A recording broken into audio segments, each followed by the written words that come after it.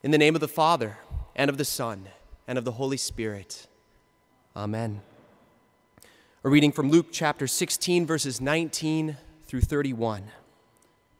Jesus said, There was a rich man who was clothed in purple and fine linen, and who feasted sumptuously every day. And at his gate was laid a poor man named Lazarus, covered with sores, who desired to be fed with what fell from the rich man's table. Moreover, even the dogs came and licked his sores. The poor man died and was carried by the angels to Abraham's side. The rich man also died and was buried. And in Hades, being in torment, he lifted up his eyes and saw Abraham far off and Lazarus at his side. And he called out, Father Abraham, have mercy on me, and send Lazarus to dip the end of his finger in water and cool my tongue, for I am in anguish in this flame. But Abraham said, Child, remember that in your lifetime you received your good things, and Lazarus in like manner received bad things. But now he is comforted here, and you are in anguish. And besides all this, between us and you, a great chasm has been fixed, in order that those who would pass from here to you may not be able, and none may cross from there to us. And he said, Then I beg you, Father, to send him to my father's house, for I have five brothers, so that he may warn them, lest they also come into this place of torment. But Abraham said, They have Moses and the prophets. Let them hear them. And he said, No, Father Abraham, but if someone goes to them from the dead, they will repent. He said to him, If they do not hear Moses and the prophets, neither will they be convinced if someone should rise from the dead. This is the word of the Lord. Thanks be to God. And grace, mercy, and peace be to you this morning from God our Father and from our Lord and Savior Jesus Christ. Amen. Your brothers and sisters in Christ, how do you feel about spending your money? There's a lot of different ways you could approach that question. Maybe the first thing you think to yourself, you just want to fire back what money?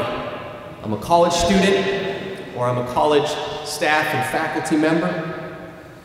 When I've sat with couples in marriage counseling, we usually end up talking about how in most relationships, there happens to be a spender and a saver.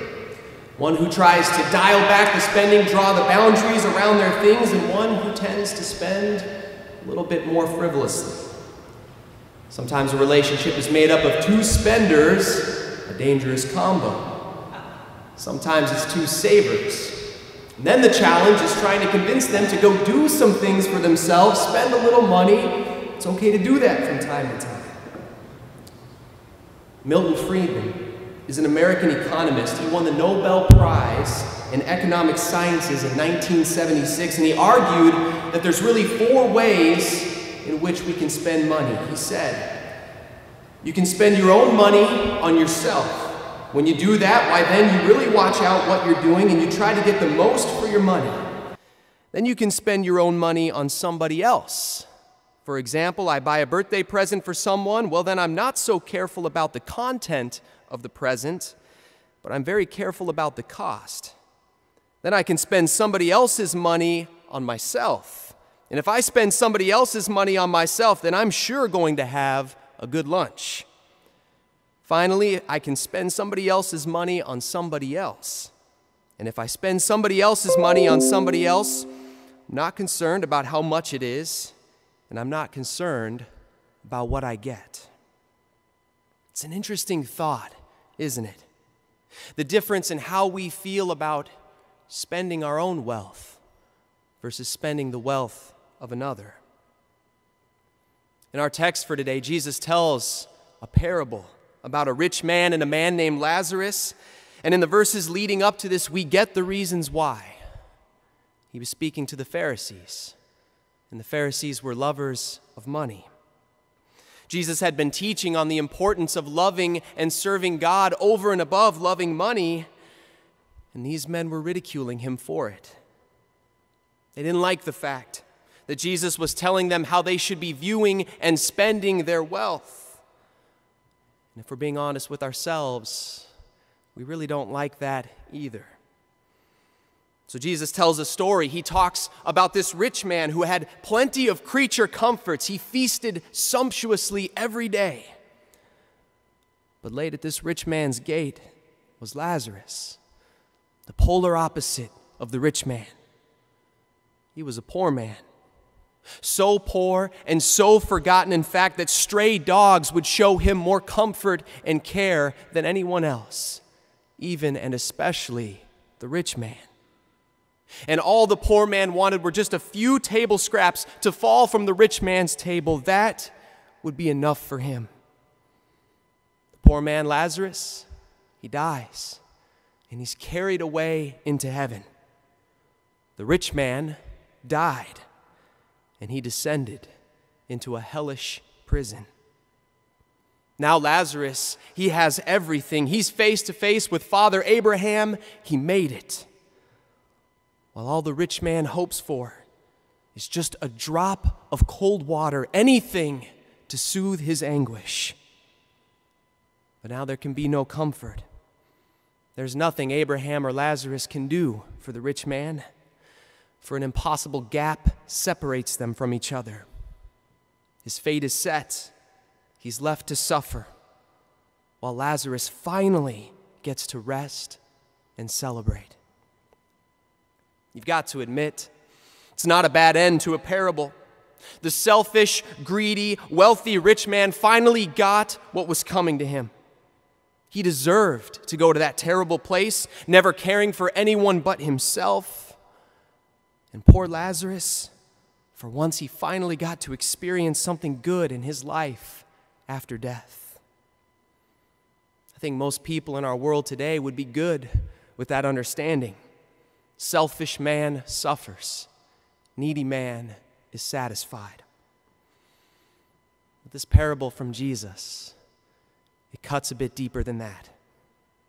There might be some reasons that rich man doesn't get a name and Lazarus does, and perhaps one of them is that those listening to Jesus and his parable, they're not meant to identify with Lazarus, but to check their own lives through the lens of the rich man.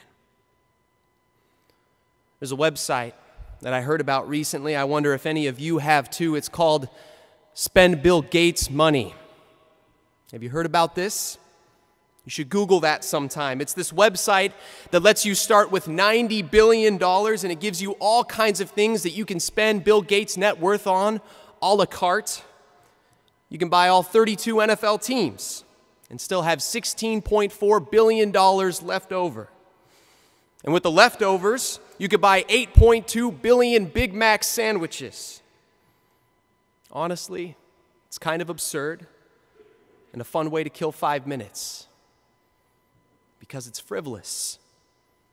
It doesn't really matter because Bill Gates' wealth is not mine to spend. Jesus' concern is on how we're using what God our Father has entrusted to each and every one of us. Do our wealth and our blessings from God is, exist to simply make my life more comfortable?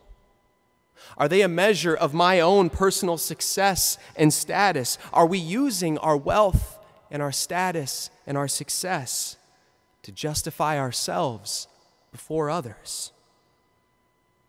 Maybe it's time for a heart check.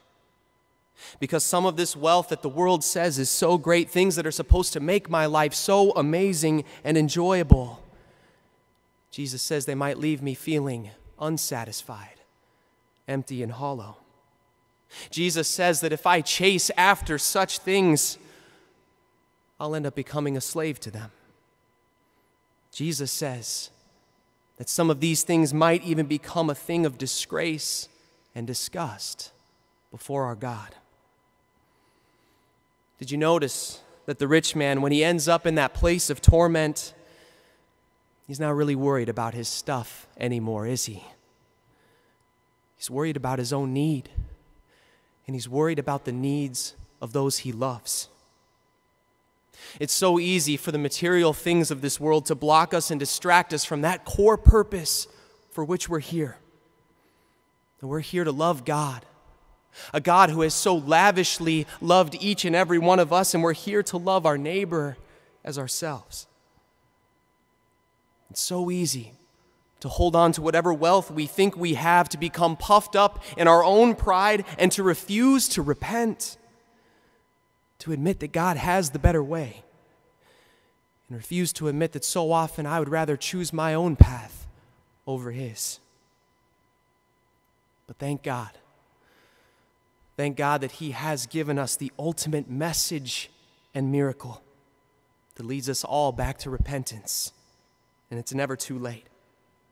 He's given us the culmination of Moses and all the prophets, the most convincing news that the world could ever hear that while we were still greedy, while we were selfish and comfortable in our own sin, while we were still sinners, Christ died for us. That eternal chasm that separated us from belonging to God, Jesus came and he stood in that gap. The perfect God man suffers and dies on a cross so that all can be satisfied.